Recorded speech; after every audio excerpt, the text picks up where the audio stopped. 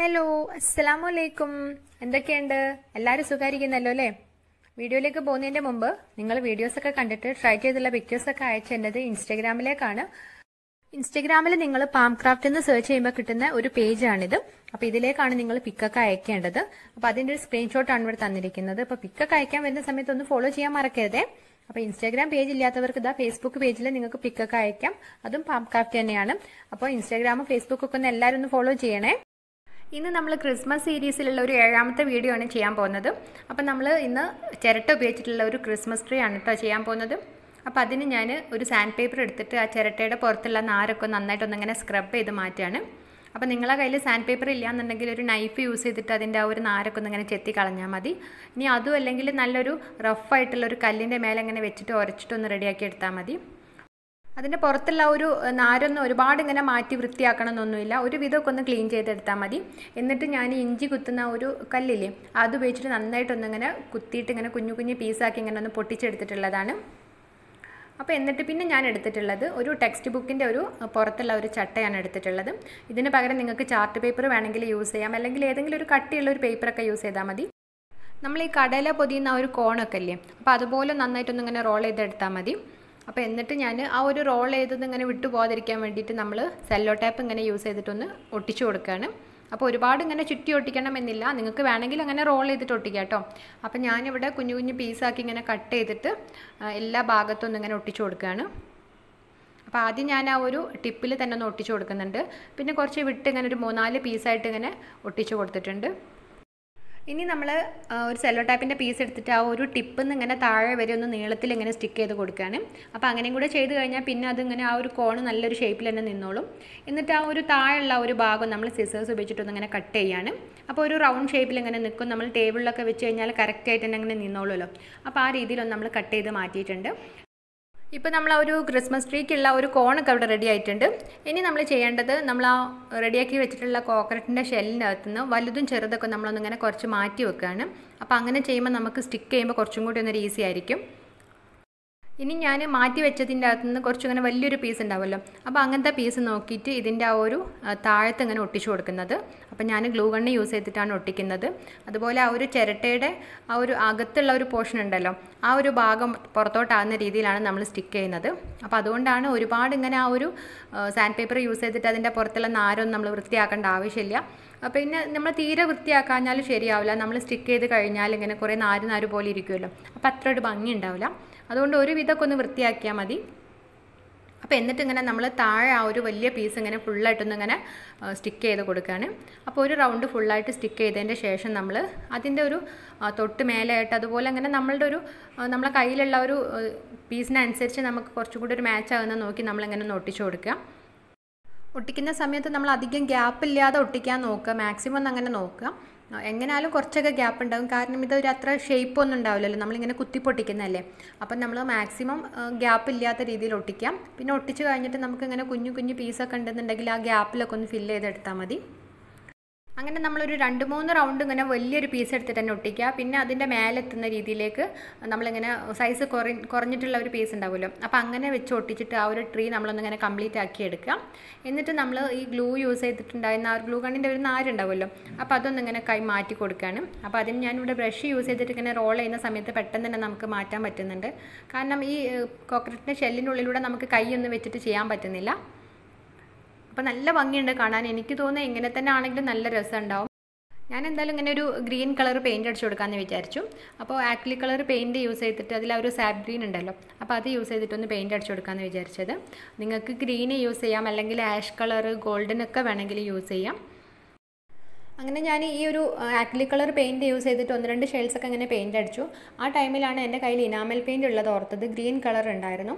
അപ്പോൾ ഞാനത് ഇതുവരെ യൂസ് ചെയ്തിട്ടുമില്ല അപ്പോൾ ഇതാകുമ്പോൾ ഇത് ഒരുപാട് കുറച്ച് വലിയൊരു എക്സ്മസ് ട്രീ ആണല്ലോ. അപ്പോൾ അതിന് അത്യാവശ്യം ഒന്ന് പെയിന്റ് വേണ്ടി വരും. അപ്പോൾ ഈ സാപ്രീനൊക്കെ ആണെങ്കിൽ എന്റെ കയ്യിൽ ഇനി കുറച്ചേ ഉള്ളൂ. അപ്പോൾ പിന്നെ ഞാൻ ഇത് മാറ്റി വെച്ചിട്ട് ഞാൻ ആ ഒരു ഇനാമൽ പെയിന്റാണ് അടിച്ചു കൊടുക്കുന്നത്. അപ്പോൾ ഇനാമൽ പെയിന്റ് ആവാൻ നമുക്ക് ഒരു കോട്ട് അടിക്കുമ്പോൾ തന്നെ നല്ലൊരു ഫിനിഷിങ്ങും കിട്ടും. പിന്നെ ഒരു പ്രശ്നം എന്താണെന്ന് വെച്ചാൽ അത് കയ്യിലൊക്കെ ആയി കഴിഞ്ഞാൽ പോകാനൊക്കെ ഭയങ്കര പണിയാണ്. പിന്നെ നമുക്ക് ആക്രിലിക് കളർ പെയിന്റ് ഡ്രൈ ആകുന്ന പോലെ അത്ര പെട്ടെന്ന് ഡ്രൈ ആവില്ല കുറച്ചധികം ടൈം എടുക്കും. അത് നമുക്ക് വെയിലത്തൊക്കെ വെച്ച് കഴിഞ്ഞാലും തന്നെ ഒരു മൂന്നാൽ മണിക്കൂറൊക്കെ എന്തായാലും എടുക്കും. ഈ ഒരു പെയിന്റ് ഒരു ഡാർക്ക് കളറാണ് വരുന്നത്. ഡാർക്ക് ഗ്രീൻ ആയിട്ട്. അപ്പം നിങ്ങളെ കയ്യിൽ ഏത് കളർ പെയിന്റ് ആണോ ഉള്ളതെന്ന് വെച്ചാൽ നിങ്ങൾക്ക് ഇനാമൽ പെയിന്റ് ആണെങ്കിലും ആക്രിലിക് പെയിന്റ് ആണെങ്കിലും എന്ത് വേണമെങ്കിലും യൂസ് ചെയ്യാം. നമ്മൾ പെയിന്റ് ചെയ്യുന്ന സമയത്ത് ആ ഒരു ചിരട്ടന്റെ പീസിന്റെ സൈഡിലും ഒക്കെ നന്നായിട്ടൊന്ന് പെയിന്റ് ചെയ്യാൻ നോക്കുക. പിന്നെ അങ്ങനെ ആ ഒരു ഗ്യാപ്പിലൂടെ ഒക്കെ നന്നായിട്ടൊന്ന് പെയിന്റ് ചെയ്യാം.